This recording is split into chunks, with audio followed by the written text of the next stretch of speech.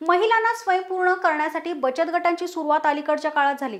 परंतु लिज्जत पापडने पन्नास वर्षापूर्वी महिलांचं संघटन करून त्यांना स्वयंपूर्ण बनवलं. आज पन्नास हजार महिला स्वाभिमानाने पापड लाटण्याचा व्यवसाय करतायत. लिज्जतने या गरीब महिलांना स्वाभिमानाने जगायला शिकवलं असं प्रतिपादन केंद्रीय मनुष्यबळ विकास मंत्री प्रकाश जावडेकर यांनी केलं आहे श्री महिला गृह उद्योग लिज्जत पापडच्या सुवर्ण महोत्सवी कार्यक्रमात लिज्जत रत्न पुरस्कारांचे वितरण त्यांच्या हस्ते झाले. गणेश कला क्रीडा मंच येथे झालेल्या ह्या कार्यक्रमावेळी पुण्याचे पालकमंत्री गिरीश बापट सहकार पणन मंत्री सुभाष देशमुख महापौर मुक्ता टिळक खासदार अनिल शिरोळे आदी मान्यवर उपस्थित होते. महिलांमध्ये सातत्य चिकाटी वात्सल्य शिस्त आणि स्वाभिमान दडलेला असतो. त्यांच्यातील अंगभूत कौशल्य ओळखून लिज्जत परिवाराने त्यांना ओळख दिली आणि स्वावलंबी बनवले. मेहनत आणि स्वाभिमानाच्या जोरावर गरीब व्यक्तीही मोठ्या पदावर जाऊ शकतो. हे आदरणीय पंतप्रधान नरेंद्र मोदी यांनी दाखवून दिलं असल्याची भावना प्रकाश जावडेकर यांनी व्यक्त केली आहे. फोन करतात आणि घरी पाहिजे ते मागू शकतात. हॉटेलवाल्यांचा धंदा सुद्धा दुप्पट झाला. कारण त्यांच्या इथे नाहीतर कोणी जाऊन घरी डबा आणत नाही. पण तो डबा आता फोनवर मिळायला लागल्यामुळे लोक पार्सल मागवायला लागले. अशा असंख्य सेवांचा विस्तार झाला.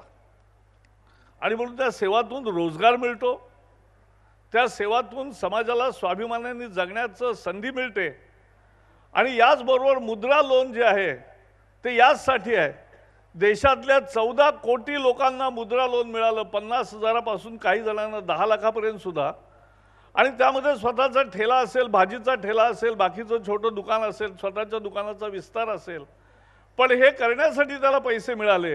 बिना गॅरंटीचे पन्नास हजार रुपयाचं कर्ज गरिबाला कोणी देत नाही. सावकाराकडे गेलं तर महिन्याला दोन दोन तीन तीन टक्के व्याज घेतात. परंतु या ठिकाणी मुद्रामध्ये त्याला कमी व्याजामध्ये बिना तारणाचं कर्ज मिळायला लागलं.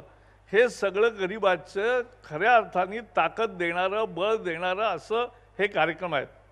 आणि म्हणून या कार्यक्रमांची सुरुवात आता सरकारने केली परंतु लिज्जतनी ती साठ वर्षापूर्वी केली आणि साठ वर्षापूर्वी स्वयंप्रेरणेने केली. म्हणून लिज्जतचं जसवंतीबेन तुम्ही याच्या प्रतिनिधी आहात म्हणून तुमचं मनपूर्वक अभिनंदन करतो. यावेळी पालकमंत्री गिरीश बापट यांनी आपले मत व्यक्त केलंय. आज पुणे शाखेला पन्नास वर्ष होऊन ह्या संस्थेच्या स्थापनेचा इतिहास हा अनेकांना प्रेरणा देणार आहे. आज आमच्याकडे अनेक युवक येतात युवती येतात. घरचं स्वास्थ्य खूप चांगलं असतं दोन पैसे असतात. आणि आम्ही काय व्यवसाय करू असं आम्हाला विचारतात. तेव्हा शेवटी त्यांची आवड निवड कला हे बघून आम्हाला सांगावं लागतं.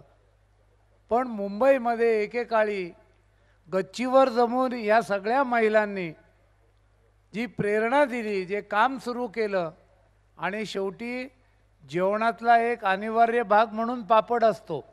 म्हणजे सकाळ संध्याकाळ लिज्जतची आठवण करणारे लाखो नागरिक आहेत की ज्या आपल्या आहारामध्ये पापडाचा आहार हा घेत असतात. आणि म्हणून मला असं वाटतं की खऱ्या अर्थाने हा एक ऐतिहासिक आणि आगळा वेगळा कार्यक्रम आहे.